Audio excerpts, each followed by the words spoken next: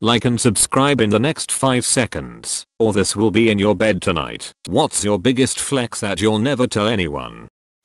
When my girlfriend and I worked at the same bar, I threw a coaster at her like a frisbee. It arced over her and like 20 customers only to land perfectly on the neat stack of other coasters like 50 feet away. It was so fucking cool but nobody noticed except one customer who I later had to kick out for taking a nap on the bar. No point in telling anybody, but I look back fondly on that moment. Edit. I'm pleased to see that I'm not the only unrecognized Jedi. Neat stories. Everyone.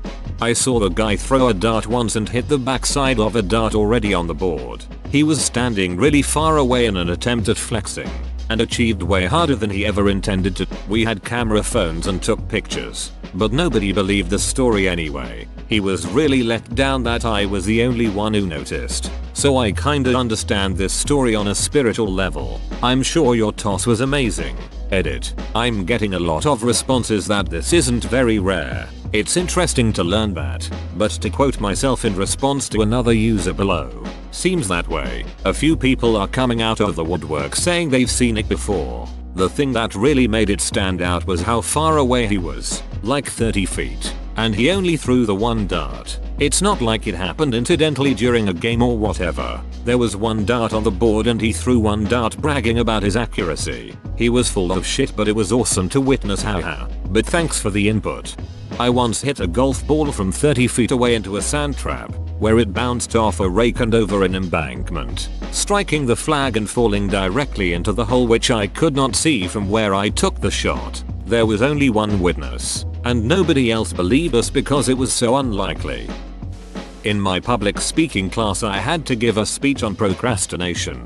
I wrote the speech an hour before class. In my feedback notes I was told I had great preparation.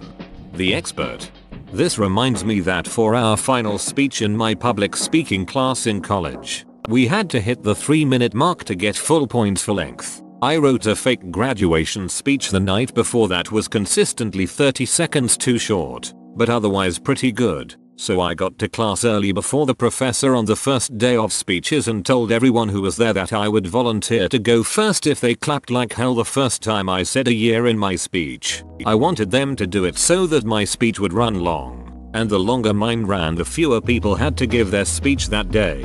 So it was a win-win. Professor came in about 30 seconds before class started, as usual, and was totally oblivious. I volunteered to go first, got up and started my speech, and made a point of drawing out and welcome to the class of 1998. I was half convinced it wouldn't work at all, but oh my god did it turn out beautifully. The class erupted in cheers and applause and I felt like I'd just won a million dollars. The professor was so startled that he almost fell out of his seat. And it was a solid 1-2 minutes of cheering, which is a long time before he got everyone to shut up and let me finish the speech. I ended up getting a 98 on the speech and had several people try and copy the cheers, with varying degrees of success. It sounds fake as hell half the times I try to tell it, but definitely one of my favorite memories from college. I saw a lizard in the middle of a busy road. I bent down on the side of the road and called for it as I put my hands out and he ran straight into my arms. I carried him to safety and didn't think anything of it until I heard a stranger behind me go. Did y'all see that shit? She's a lizard whisperer. Man I wish there was another witness because I bet I looked cool. My lifelong best friend's mom was a lover of reptiles. She used to have a broom in the back of her Mazda to tow stubborn snapping turtles across the road and notoriously rescued countless animals. Reading this made my heart happy. I couldn't help but picture her at the side of the road cheering you on. RIP to an amazing lady that encouraged children to look beyond the scaly to see the wonderful and cheers to you for helping random critters that cross your path. Red heart. I saved a baby squirrel this same exact way. I didn't think about how crazy it was that the squirrel came running and hiding in my jacket till later that day. 4 lane busy road, and its mom was roadkill in the middle of it, and it was frantically investigating its mom as cars drove by. Still breaks my heart woman in my office had a fairly long piece of TP attached to her shoe and I stepped on it and detached it from her shoe. I felt like a superhero. I still feel like a superhero about it. Bless people like you. I once had a server purposefully drop something next to our table, just so she could have an excuse to bend over and grab the toilet paper off of my shoe. I still think about her from time to time. One time I was taking an order at a table back in the day at Chili's. The woman on the end kind of jostled her purse and something fell out. Without thinking or looking I bent to pick it up for her, looked at the object as I handed it to her. It was a dildo. I saw Elton John in Vegas, Red Piano Tour. During Bennie and the Jets, I can whistle extremely loudly. I nailed the whistle part that is on live version of the song that plays on the radio. He smiled. I saw him live once while he unfortunately was battling a bad flu, still sounded fucking amazing though. And at one point he turned around to throw up in a bucket behind the piano. We were in the seats sort of behind the stage. Supposed to be the cheap seats but he always turned around and acknowledged us so it was great. And just cheered as loud as we could to show support and he laughed and put his finger up to his mouth as if to say SSH. It's a secret. Mad props to him for still performing even though he was sick enough to throw up. I can make the price of any stock go down simply by buying it. I can do that too. What if one of you buys a stock and the other shorts it? I keep light up Skechers under my bed to walk around the house at night. Eugenius. When I was in high school we did a toy drive with our homeroom classes around the holidays where each class was assigned a family and need to donate money to or buy toys for. By the last day almost none of the toys had been bought from the kids lists. We'd just collected a modest chunk of money for the family. I went home and told my mom that I didn't need anything but I would like to get some of those things the kids asked for. My mom and dad talked. They'd both grown up poor and knew the money we'd collected would probably be used on necessities, not toys. So my mom and I went out and came back home with about $300 worth of toys the kids had asked for. I brought them in early before school started and submitted them and the receipts for them to my homeroom teacher. Later on one of my classmates, who I had great disdain for ever since the third grade when he blatantly stole my new pencil, came in and announced he was making the biggest contribution of our class with a $40 donation. The teacher made eye contact with me but I remained neutral and shrugged. So the teacher didn't correct him, just smiled and said thank you to him. I figure he needed that affirmation more than me and I never liked being center of attention anyway. Edit. Thanks everyone for your kind words and stories. 14 year old me and her parents never thought so many people would think so highly of their small act of charity. You are more humble than I could ever be freaking power move. Edit. Thank you guys so much. I've been going through a hard time lately and just the fact that I've gotten so many upvotes is really surprising. Along with an award too. So anyway THX. I love this. A true moment in your life that probably paved the way for your moral compass to be truly legit AF in your adult life. I have gotten to a place in my life that unless I tell someone, it is nearly impossible to tell I have autism. Edit. Thank you so much for the awards. Same dude. Whenever I tell anyone I always get the wow I never would have known. Reaction. I'm not a big fan of people saying that I don't look autistic though colon. Edit. Thanks for the awards guys. D. I got you bro. You look autistic.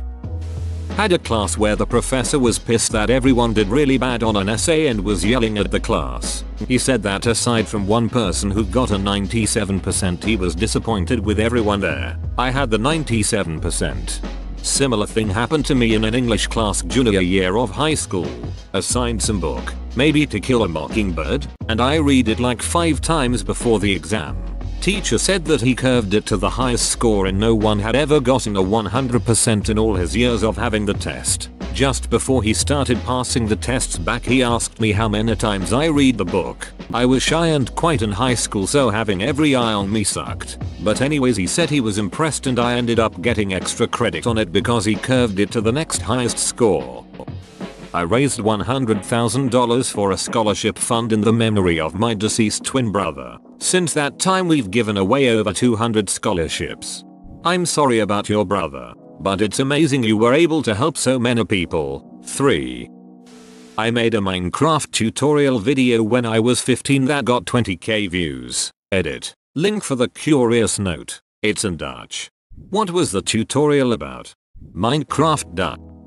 I lived with my grandparents my whole life who lived in a small little house across the street from a big fancy neighborhood development. They lived in the same house for 40 years before the development. It was a very bad hill on a busy road with the neighborhood entrance at the bottom of the hill which was across the street from our house. Me and my grandpa would pull people out of wrecks all the time. Saved a bunch of lives but sadly saw over 10 people die on that hill growing up. The big fancy people in that neighborhood would always bring us food and gifts. They called my grandpa the gatekeeper. Honestly this could be a really interesting movie. I call it Hillanthropy. Edit. Oh my god I wasn't even trying to make a good comment on this one. All I thought was oh it's definitely too late for anyone to see it but I really think it would be a cool movie thanks for the upvotes. I wrote a popular and successful fanfic years and years ago. I still live on that high. Edit. I am considering revealing it maybe. Ebony Darkness Dementia Raven Way is that you? No I wrote pounded in the butt by my own butt. I have a no gag reflex. This will go to my grave. Married man with 3 kids. How did you find out? It was just a phase. We don't talk about that. I ran over a half marathon at night for 5 months every day. I shouldn't be proud because that was my lowest point mentally but I was. Eater. Jesus I went to sleep and woke up to 80 notifs. Thanks. I wanted to add that it was because of an obsession with exercise. For those who were confused as to why I don't want to be proud of it, it wasn't healthy and fucked up my body for a little while. You sound like a close friend of mine that did does a lot of night running due to insomnia. I wish my insomnia made me active. Damn. I am on the top page of the high scores for Runecrafting in the game old school RuneScape. Edit. Since my comment made it to r slash 2007 scape, if any mods from r slash 2007 scape see this comment, please unban me from the sub I. How did you have time to write this comment? Shouldn't you be grinding? I have a friend who plays RS on multiple accounts. I once saw him playing 4 RS games at once, while playing a completely different game on another screen, and, if I recall correctly, browsing I on the third. I believe he's getting an ADHD test soon. I have enough old, valuable Magic the Gathering cards to buy a car. A new, really nice car. I don't tell anyone IRL because they're from when I was young and collected them. And my current social circle would think it's kid nerd stuff and wouldn't understand doesn't get me down, though. Current plan is to hold on to them until they go up enough over time to match my mortgage balance. Then use them to pay off my house. Edit. I appreciate all the comments. I currently actively keep up with the MTG market, and I'm a pretty close follower of them Tgfin and sub. As far as the makeup of the cards, RL cards, mostly from 93-94, and complete sets from Urza's block and earlier. Consider a safety deposit box. Floods, fires, mold, etc can really kill your valuables. Edit. Thanks for the silver and other awards kind strangers. They are in a safe location. My debit card went through for a really large amount and the lady behind the counter had been being so smug and irritating for so long and then she tried to deny my card because it wouldn't go through for that amount and I asked her to just please try it. The look on her face when it went through was so satisfying. May I never make that larger purchase again. Fuck that lady. The fuck does she know about your credit debit limit? Just swipe the damn card Karen. Right, she had turned me away once before and demanded I bring a checkbook, but I forgot it and was basically begging her to try my card. Whenever I think about telling this story, it always comes out with a that happened type of feel so I have kept it to myself. Every day in junior year of high school I would eat my lunch, stand up, and toss my trash toward the wide-mouthed trash can about 25 feet away. Every day, I would miss. I would then routinely do the walk of shame to get it all thrown away. This went on until the spring. It was April or May, I forget when exactly, and I stood up and threw my trash at the can. What do you know? After a few months I made it. It was a small victory but I did an air fist and then made eye contact with a kid who was in the marching band with me. Apparently he had watched me do this ritual every day and was ready to celebrate with me, so he began to slow clap. Then, The rest of his table clapped, not knowing why but it was high school so who cared. Then the effect spread until the entire cafeteria, about 1500 students, were giving thunderous applause, only two of us knowing why. I took a bow and then sat down and everyone just went back to eating their lunch like nothing happened. Because nothing really happened. It was a weird rush. That that happened feel of everyone clapping could definitely seem like a possibility to someone hearing the story. But lem tell you, at my high school if you were in the lunchroom and someone started clapping, nobody could know what they are clapping for and still the whole room would be clapping just for the fun of it. And everyone clapped. I bought some then relatively worthless Apple stock because I thought I'd be able to eBay the stock certificate with the rainbow Apple logo when the company went out of business. My investment guy just thinks I'm really clever. I've not corrected him. Do you have a picture of the certificate to post? I like looking at older certificates. Not too long ago somebody posted one of Disney. Wish they still did that. I too like looking at certificates but only in person. If could mail it to me that would be great. I discovered, verified, and reported a critical security flaw in a US Army computer system, which was then quickly patched. IMGA.com link. Seems especially relevant these days, though it was over a year ago. For future reference, on the off chance that you ever find something similar, DoD actually has a HackerOne page. Korean here. Please go on of course I'm from the south. So please go on. Only a North Korean would specify I'm from the south nice try Mr. Spy. I never get bored, ever. It's a useful superpower when I'm stuck in certain situations. I'm never interested. Edit. My first awards and highest rated comment ever is about not being interesting in anything is so on brand for me. I have depression. 2. Serious. I can count all of the syllables in every sentence during conversation. Then I can tell the person I was talking to the amount of syllables they had just said. It's due to a weird response from my social anxiety. I don't tell anyone IRL because it's just weird and out of place to do so. They would call me crazy. I even have some common sentences and phrases memorized so I can take solace in the fact that I already know the syllables. Edit. Played video games for some time and came back to oh my flipping goodness that's a lot of awards. My most awarded and upvoted comment of all time is about me counting syllables. I is weird. Edit 2. Frequently asked questions. I can hold conversations with zero issue. The syllables go to the back basically. For example, during a test you just kind of know the answer and automatically bubble the answer without thinking about it. Same with retrieving the syllable count. It's really satisfying to me if the syllables end in the tens, like 10, 20 etc. I'm good at poetry normally and it does play a part usually. On the bright side, it's only mild cognitive dissonance if it didn't end in the tens place. I've never tried a haiku but I will in the morning. Edit 3 I gotta go to sleep now. It's almost 2am lol. I answered as many as I could. Will try and respond again in the morning. Sorry I had a late start from playing GTA all night. You are weird. I like you. Thank you very much. 6.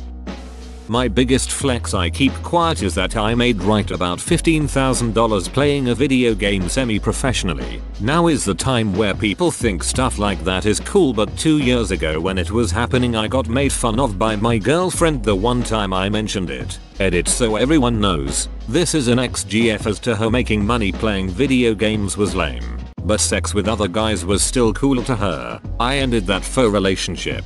Hate to break it to you, but that was cool 2 years ago and your girlfriend was just cruel. Who makes fun of someone for making $15,000 from something as fun as video games? Made 15k and it wasn't illegal? We need to celebrate. I'm on level 4000 in Candy Crush. Edit. I have spent $0 on the game. You are worse than my mom but she's strangely proud. Ugh. I'm on 8126. I have a problem paid off 40k in debt during quarantine due to no more daycare costs for 3 kids, and better paying job for the wife. Also dropped body fat from 14% to 7% using my ghetto ass home gym while everyone was complaining about the quarantine 15. Went from having one family meal a week to almost daily. I don't tell anyone this obviously because there are people going through tough times, especially family and close friends and I can empathize with that as it hasn't been completely smooth and there were some stressful moments. But I am proud of what my wife and I were able to do in a relatively short amount of time but haven't shared any of this at the risk of alienating anyone. Congrats on everything. And being a considerate person. I beat morbid obesity, which spiraled into a violent battle with anorexia, which I also beat. I eventually went on to get into modeling, weightlifting, and more. Compare pictures of me now, with pictures of me from 5 years ago, with pictures of me from 10 years ago, and they all look like completely different people. I'm proud of you. Thank you, I appreciate that. I haven't done opiates in 6 months. Flex on that all you want. That shit's not easy. I dropped a fry from my mouth and slapped it to try and save it. It landed back in the box. At one point I could sing along perfectly to We Didn't Start the Fire. I still know most of the words but I'm always so embarrassed to sing in front of other people lol.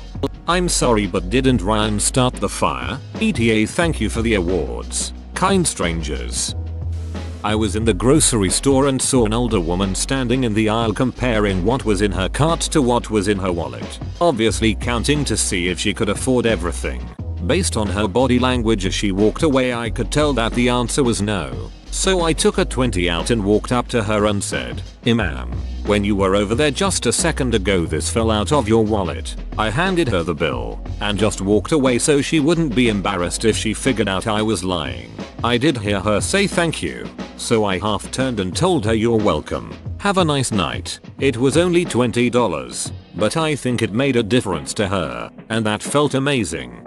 Good on you. I was waiting in line at a cashier last year where the woman in front of me saw her card being declined while paying. She told the cashier she was going to her car and coming back. I just paid her bill while she was out and came across her going back in as I was leaving the store. You can tell when people are going through hardship at times and little things like this actually makes me think if more people helped each other like this, there'd still be hope for humanity.